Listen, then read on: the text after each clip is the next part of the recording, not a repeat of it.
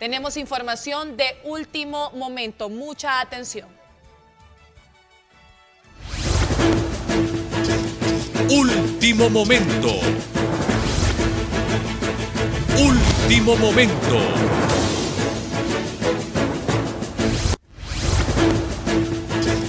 Último momento. Último momento. Último momento. Último momento. Mucha atención a este informe de último momento, mucha atención. Y hablando de extorsión, paralizado se encuentra el rubro transporte en, las- en el sector de residencial Honduras. Ya no se soporta, inclusive hay amenazas a muerte. Compañera Jocelyn Flores, le escuchamos. Último momento.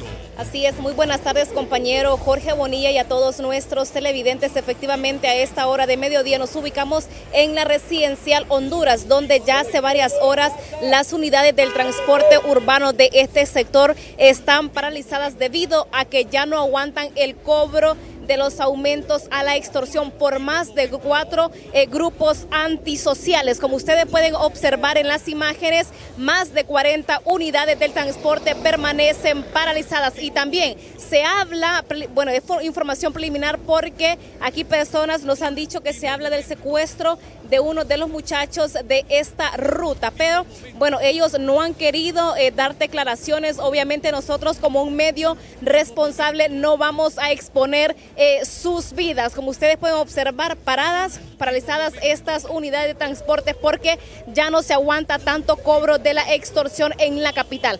¿Dónde está la seguridad de los transportistas que a diario exponen eh, sus vidas? Nosotros le hacemos el llamado a las autoridades correspondientes a que realmente se pongan los pantalones y frenen este tema de la extorsión en la capital. Tras cámaras, tras cámaras, vamos a conversar eh, con uno de ellos. Eh, mi amigo, ¿desde qué horas ustedes están paralizados aquí en este sector? Ya rato, ya, ya, sí, a ratito. Yo vengo llegando ahorita. No se sabe si en horas de la tarde van ustedes a continuar o definitivamente hoy no van a trabajar. No, no sabemos todavía, hasta nuevo aviso. Óigame, está terrible esto del cobro de la extorsión. Está terrible, ya no aguantamos eso ya. A diario ustedes se exponen su vida.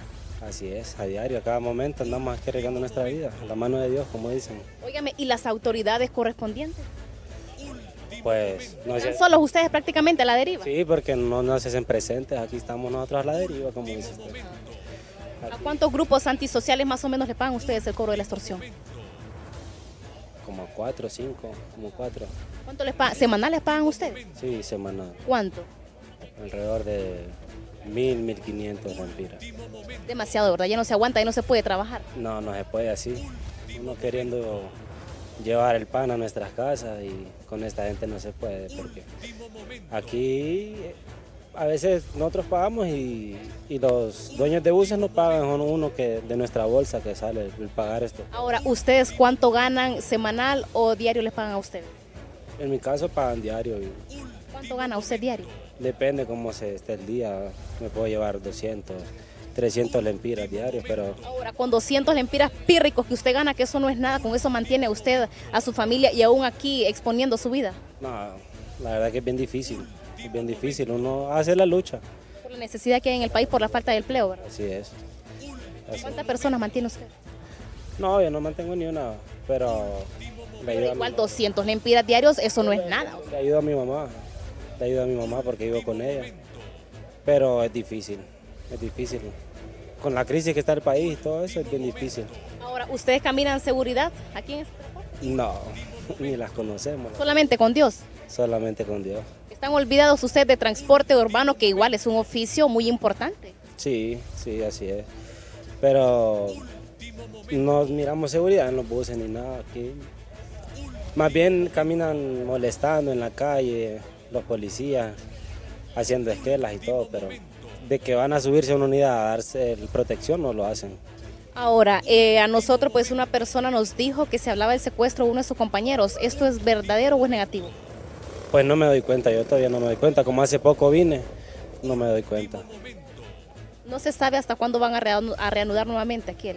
No, tal vez no salgamos hoy ya, hay que esperar que se soluciona. ¿Cuántas unidades están paralizadas en estos momentos? Como 60, unos 60 unidades. Sí. Obviamente esto es una pérdida para ustedes. Sí, pérdida para nosotros y también para el usuario que, que se transporta. Tiene que buscar otro método de cómo transportarse a ese lugar que va.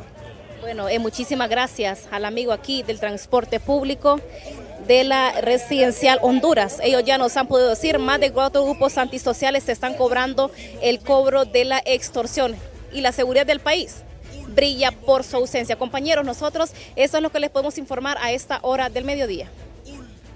Gracias a nuestra compañera.